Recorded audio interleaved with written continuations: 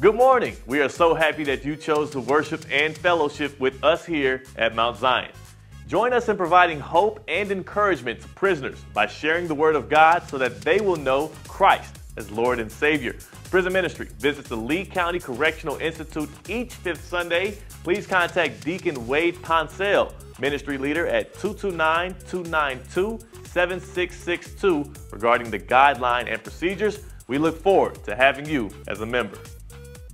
Listen up! Would you like to learn how to design and construct robots, troubleshoot and solve problems, or learn the basics of 3D printing? Maybe you just want to improve your math skills. Well, if so, the Summer Robotics and Mathematics Enrichment Camp is for you. The camp is designed for 8th through 10th graders. The program will begin May 30th and end on July 6th and will be held on Tuesdays, Wednesdays, and Thursdays from 8.30 a.m. until 11.30 a.m. at Albany Technical College.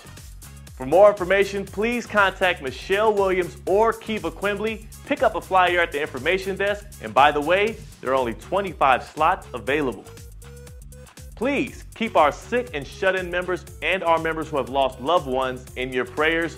Well, that's it for our weekly video announcements, but you can see these announcements and much, much more at mtzionofalbany.org. Please stay connected with us by using our MT Zion app and don't forget to subscribe to our YouTube channel at MT Zion Albany, Georgia.